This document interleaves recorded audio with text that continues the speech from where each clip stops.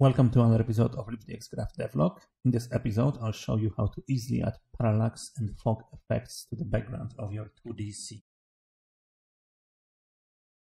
We start where we left off last time, which is we have this sprite shaders animated and tiled, and they're also now available from the template menu in the new shader button.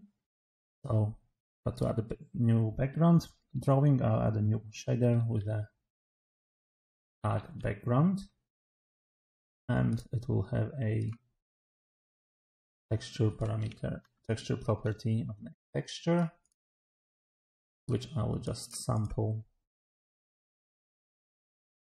at the at the sprite UV and connect the color and alpha of it. Okay, now let's take a look how it looks in the application. As you can see, I've added a couple of sprites to the background here. They are looking very, first of all, very blocky because they're made much, much larger. And also they are blending in with our actual foreground, which is not a very good idea for a game. So let's try to fix this. First of all, I will create a parallax effect, which means that when I so these things will start looking like they are actually in the background. They will move much slower than the foreground. So to start it off, I have to get a position of the camera.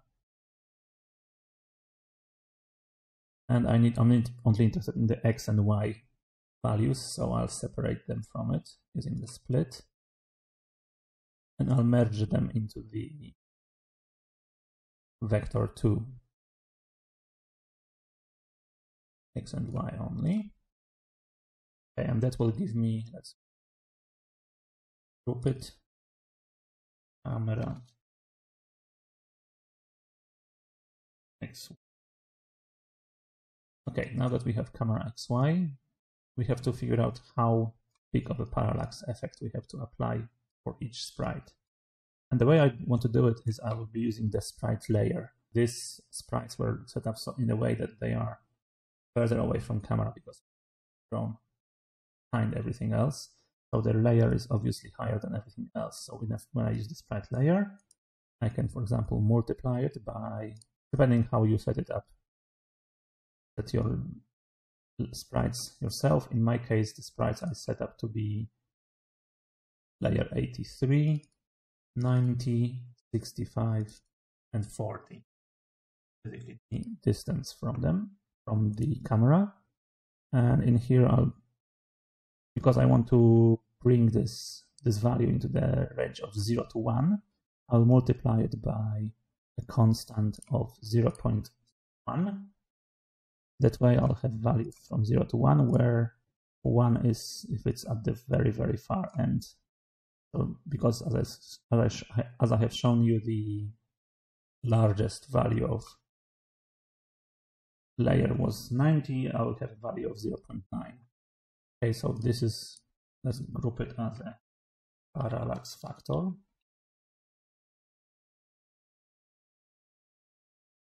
And to move the objects, I have to modify the position here. And the way I mod modify it, I'll multiply the vector 2 of the camera, so the XY camera, by this value. And I'll add it to the sprite position. That way, whenever camera moves, let's say one, no, let's say 100 pixels, the furthest, the sprite furthest away will move by 90 pixels in the same direction. That way it will, from the perspective of the camera, it will move only 10 pixels, if not the camera moves one, 100 pixels. That's how we'll achieve the parallax effect. So let's connect it up and take a look at the result of the change. Okay, so now you can see the, the furthest away the right is moving much slower than anything else than the foreground and the character. And it's already looking like it's actually in the background. The problem is now that it still blends in with the foreground. You could fix it by modifying the texture that you're using here for the sprites, but there is much better way, which is a fog, something that is called fog effect which basically means that you, the further something is away, the more you blend it in with the background. So let's move this here a little bit. And uh, so, as I said, we, we're going to blend the color of it with the color of the background. So let's first of all create a constant color. And the color of the background was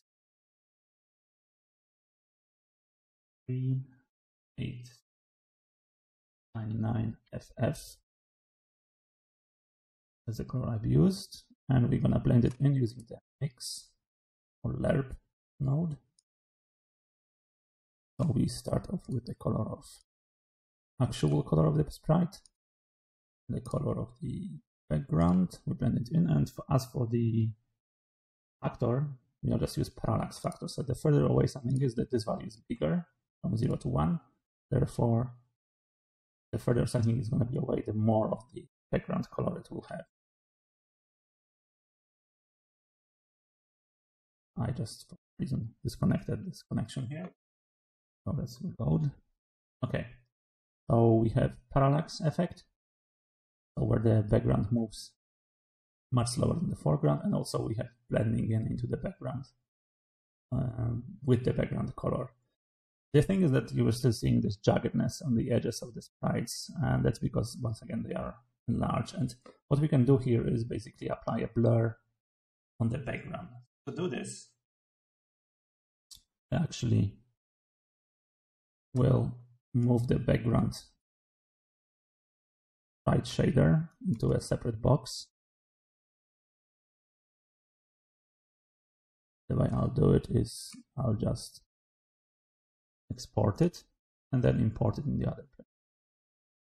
And once it's exported, I can import it here from file. After importing, I remove it from the previous place and reconnect everything.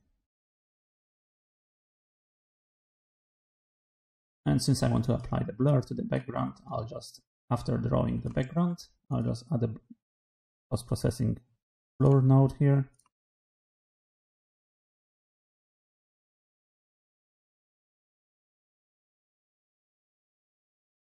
And I'll set the value to radius to 10.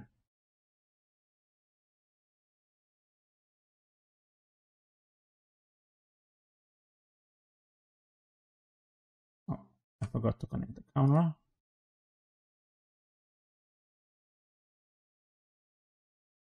And we have a parallax with fog and the background is blurred. So it doesn't, doesn't really, so you can easily see the foreground without focusing your sight much. Okay, I hope you find it useful. Please consider subscribing and liking the video. Thanks for watching. Bye.